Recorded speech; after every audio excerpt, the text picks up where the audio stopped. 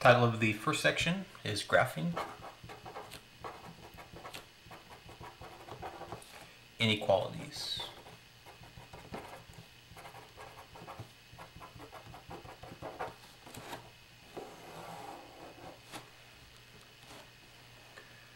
First problem is x is less than 5. When we're graphing inequalities with a single variable, the graph will just be on a single number line. There are several ways to draw a number line. One possible solution, how you can draw this number line, is the answer 5. We can put in the middle of the number line.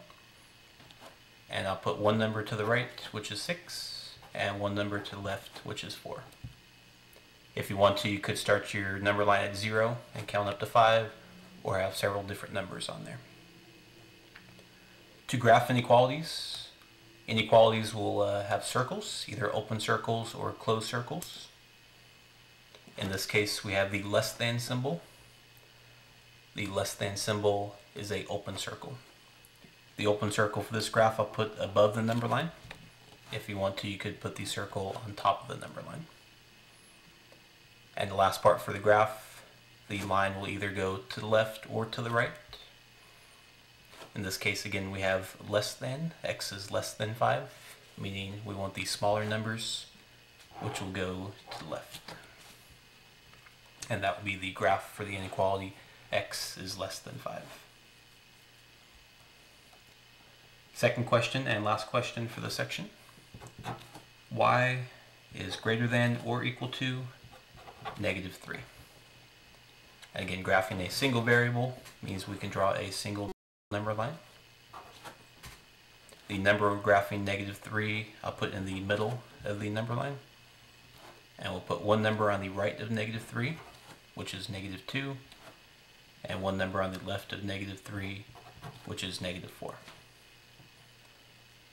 For the circle again, you can either have an open circle or a closed circle. In this case, we have greater than or equal to.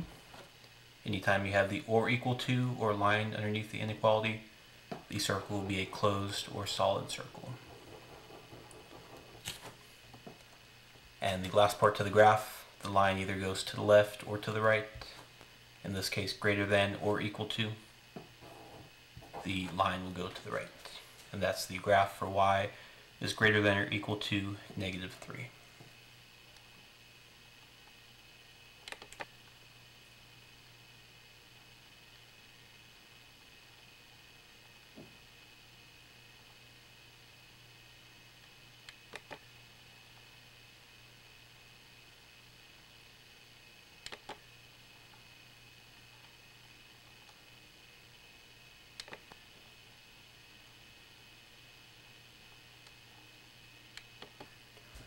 Title of the next section of notes is Solving and Graphing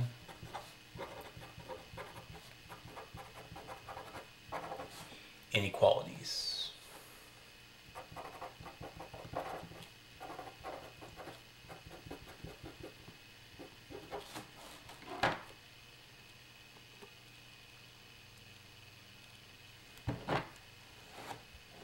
In this section again, we'll be solving first, and our answer will be able to graph the inequality on a number line like the previous section.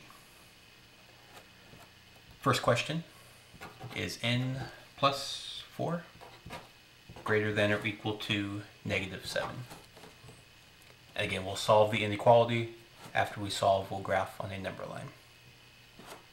We have n plus 4. To isolate n or solve for n, we want to get rid of the plus 4 which we can subtract 4 on both sides. The 4's would cancel. The inequality stays the same when you subtract numbers. Negative 7 minus 4 would be negative 11. And our answer n is greater than or equal to negative 11. Second part again, we'll graph each answer. Negative 11 put in the middle of the number line. To the right of negative 11 is negative 10, and to the left is negative 12. Again, for these graphs, we have open circles or closed circles. Anytime you have the line underneath the inequality or equal to, That means it's a closed or solid circle. And n is greater than or equal to negative 11. Greater than or equal to would be the numbers to the right. Second question and last question for the section. 3y plus 6 divided by 2 is less than 3y plus 6. Solving this equation or inequality, at the beginning we have variables on both sides, so we want to move those over to one side. Also we have a fraction that uh, contains the variable y, so we can cancel out or get rid of that fraction. If we have 3y plus 6 divided by 2, what we can do is multiply by 2. That way it'll cancel out the fraction, and the right side of the inequality will multiply by the same number, multiplying by 2. The 2's on the left-hand side would cancel, so we're left with 3y plus 6. If we multiply by a positive 2, the inequality stays the same. And distribute out the 2, we'll be left with 6y plus 12. From here we can solve. Putting all the y's on the left hand side, subtract 6y. 3y minus 6y would be negative 3y. Plus 6 less than 12. These 6y's would cancel. And subtracting 6 on both sides, negative 3y less than 12 minus 6 would be 6. And last step, divide by negative 3.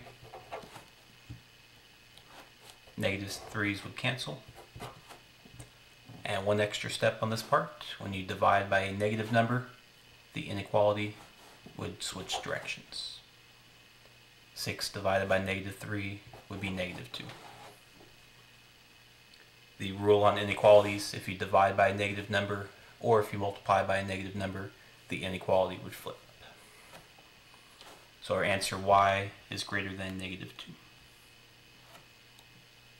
And again, the second part, we'll graph each one of these.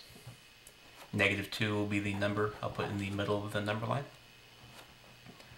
Negative 1 goes on the right, and negative 3 to the left. We have open and closed circles. This one is greater than. Greater than would be an open circle. It's not equal to. And y greater than negative 2, greater than or bigger numbers go to the right.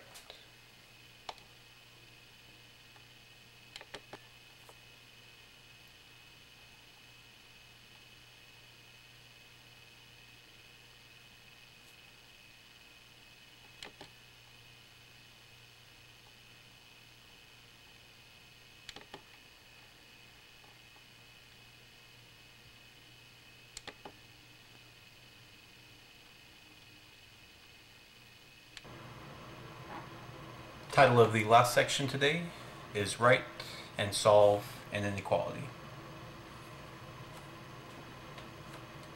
First problem for this section is the product of 12 and a number is greater than 36. Some math vocabulary. The word product means to multiply. So it would be multiplying 12 and a number. A number is a number that we do not know yet. Anytime you have a number that you do not know in math, you can use the variable x. Is greater than would be the inequality greater than 36. To write the inequality, we'll have the product. Again, we're multiplying 12 times a number, or 12 times x, which would be 12x. Is greater than would be the greater than symbol and greater than 36. So the inequality is 12x greater than 36. Second part, we're going to solve the inequality. 12x, you can divide by 12 on both sides. And we'll be left with x. The inequality stays the same when you divide by a positive number. Only switches when you divide or multiply by a negative number. 36 divided by 12 would be 3 And our answer is x is greater than 3.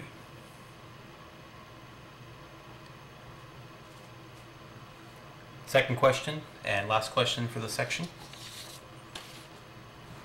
3 less than twice a number is at most 5. Some more vocabulary. 3 less than, the phrase less than without the word is in front of it. Less than would be smaller or the operation subtraction. Twice a number. Twice means to double or multiply by 2. And again, the phrase a number we can replace with a variable like x. Is at most 5. At most means the biggest it can be is 5. So the answer will have to be 5 or a number less than 5. To write the inequality, 3 less than, again means we'll be subtracting 3. When we subtract 3, that'll come at the end of the expression, minus 3. We are taking away 3 from twice a number. Twice again would be double, or times 2. And a number that we don't know, we can use the variable x. So 3 less than twice a number would be 2x minus 3. Is at most 5. That means the highest it can be is 5. It must be 5 or less. In terms of inequalities, that means it has to be less than or equal to 5. So the inequality 2x minus 3 less than or equal to 5. And last part, solving this inequality, solving for x. We can add 3 on both sides. 2x is less than or equal to 8. And dividing by 2, x. The inequality stays the same, less than or equal to, whenever you divide by a positive number, 4. So the answer x is less than or equal to 4.